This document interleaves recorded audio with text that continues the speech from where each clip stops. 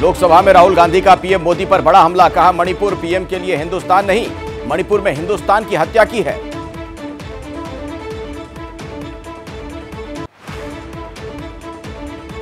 राहुल गांधी का बीजेपी पर ताबड़तोड़ हमला, कहा, आप भारत माता के रखवाले नहीं, हत्यारे हो। बीजेपी देशभक्त नहीं, देशद्रोही है। राहुल गांधी ने पीएम मोदी की तुलना रावण से की, कहा, रावण सिर्फ़ दो लोगों की सुनता था वैसे ही मोदी जी सिर्फ़ अमित शाह और अदानी की सुनते हैं। राहुल गांधी ने अदानी का नाम लेकर बीजेपी को घेरा कहा। बीजेपी को डरने की ज़रूरत नहीं, बीजेपी सांसदों ने किया हंगामा। राहुल गांधी ने अपने मणिपुर दौरे का भी ज़िक्र किया। कहा, मैंने मणिपुर के लोगों का दर्द सुना। अविश्वास प्रस्ताव पर सदन में बोले गृह मंत्री अमित शाह। कहा, भ्रम फैलाने के लिए लाया गया प्रस्ताव, जनता और सदन दोनों को सरकार पर विश्वास। लोकसभा में मणिपुर के मुद्दे पर गृह मंत्री ने कहा, इससे सहमत हूँ कि शर्मनाक घटना हुई। हिंसा का तांडव हुआ, लेकिन विपक्ष का इस पर राजनीति करना शर्मनाक है। गृह मंत्री अमित शाह ने कहा, मणिपुर हिंसा का कोई समर्थन नहीं कर सकता। मणिपुर हाई कोर्ट के फैसले ने आग में घी डालने का काम किया। गृह मंत्री अमित शाह ने मणिपुर के वायरल वीडियो पर भी दिया जवाब। कहा, मणिपुर का वायरल वीडियो समाज के लिए धब्बा, वीडियो पहले ही जाँच एजेंसियों को देना चाहिए था। वायरल वीडियो को लेकर शाह ने कहा, सत्र से ठीक पहले कैसे वायरल हुआ वीडियो? पहले मिलता तो आरोपी जल्दी पकड़े जाते, इस मामले में नौ लोगों को गिरफ़्तार किया जा चुका है। अमित शाह ने राहुल गांधी पर हमला बोलते हुए कहा, उन्हें राजनीति में तेरह बार लॉन्च किया गया, फिर भी फेल हो गए। अविश्वास प्रस्ताव पर प्रधानमंत्री मोदी कल संसद में देंगे जवाब, लोकसभा में वित्त मंत्री निर्मला सीतारमण भी मणिपुर पर बोलेंगी। लोकसभा में केंद्रीय मंत्री स्मृति ईरानी ने राजस्थान सरकार पर बोला हमला, भीलवाड़ा भट्टी कांड पर कांग्रेस को घेरा। मणिपुर को लेकर कांग्रेस की प्रवक्ता सुप्रिया श्रीनेत ने स्मृति ईरानी को घेरा, कहा, जब तक वो भयावह वीडियो नहीं आया, तब तक मुँह से एक शब्द नहीं फूटा। राहुल गांधी पर महिला सांसदों को फ्लाइंग किस के इशारे का आरोप है, बीजेपी की महिला सांसदों ने स्पीकर से शिकायत की। बीजेपी सांसद स्मृति ईरानी ने राहुल गांधी पर बोला हमला, कहा, अभद्रता और महिलाओं पर टिप्पणी करना गांधी परिवार के संस्कार। बीजेपी नेता रीता बहुगुणा ने राहुल गांधी को लेकर कहा, लोकतंत्र में संसदीय मर्यादा होती है। राहुल ने बचकाना हरकत की। यूपी के डिप्टी सीएम केशव मौर्य ने कहा, राहुल गांधी जी को फ्लाइंग किस और गले पड़ने की पुरानी बीमारी है। आप सांसद राघव चड्ढा की मुश्किलें बढ़ी, विशेषाधिकार समिति ने। राघव को जारी किया नोटिस, कार्रवाई क्यों ना हो यह नोटिस में पूछा गया।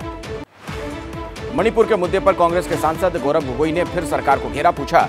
मणिपुर पुलिस ने असम राइफल्स पर क्यों की एफआईआर?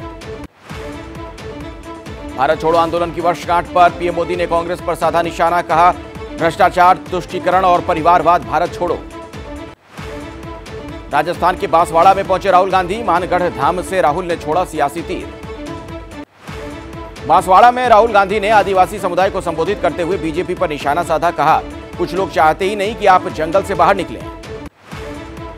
यौन शोषण मामले में बीजेपी सांसद ब्रिजभूषण के खिलाफ आरोप तय करने पर सुनवाई पूरी। छह लोगों के आरोप पर दायर की गई थी चार्जशीट।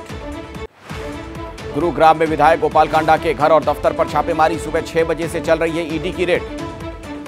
हरियाणा के नूह में सुधर रहे हालात। हरियाणा बीजेपी के प्रतिनिधि मंडल ने प्रभावित क्षेत्रों का दौरा किया।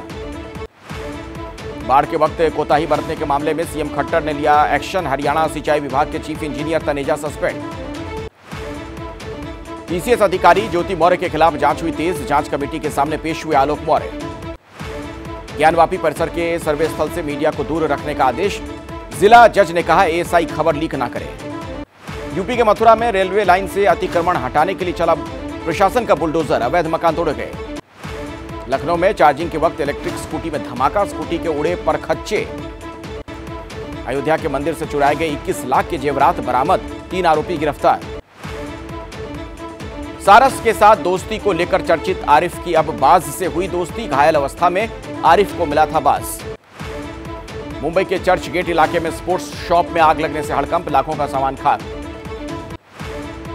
एमपी के विदिशा में दो गुटों के बीच पथराव, हालात पर काबू पाने के लिए मौके पर पहुँची पुलिस। मध्य प्रदेश के शहडोल में ओरिएंट पेपर मिल की पाइपलाइन फटने से बचा हड़कंप 12 से ज़्यादा कर्मचारी घायल, एक की मौत। मध्य प्रदेश में स्वास्थ्य विभाग के रिटायर्ड कर्मचारी के यहाँ लोकायुक्त का छापा 10 करोड़ की मिली संपत्ति। मध्य प्रदेश के दुर्ग में बदमाशों पर पुलिस का बड़ा एक्शन, सालों से फरार चल रहे 250 से ज़्यादा अपराधियों को गिरफ़्तार कर भेजा गया जेल। पश्चिम बंगाल के दक्षिण परगना ज़िले में पूर्व प्रधान की चाकू मारकर हत्या के बाद बिगड़े हालात, बसनाती गाँव में जमकर हुआ बवाल।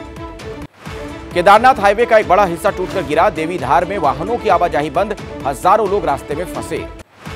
उत्तराखंड के कोटद्वार में सुखरो नदी पर बना पुल हुआ क्षतिग्रस्त। कोटद्वार से रायपुर नगीना का संपर्क टूटा, दूध की सप्लाई पर बुरा असर।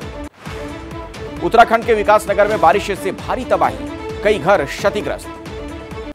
उत्तराखंड के सीएम पुष्कर धामी ने लोगों से यात्रा को लेकर की है अपील, कहा, जानकारी लेकर ही यात्रा करें। लैंडस्लाइड के कारण जम्मू श्रीनगर हाईवे हुआ ब्लॉक एनएच 44 पर, यात्रा करने से लोगों को रोका गया। झारखंड के गोड्डा में भारी बारिश से बाढ़ जैसे हालात। जान जोखिम में डालकर सड़क पार कर रहे हैं लोग। पाकिस्तान में तोशाखाना के गिफ्ट किए जाएँगे नीलाम, रकम से गरीबों की मदद का दावा।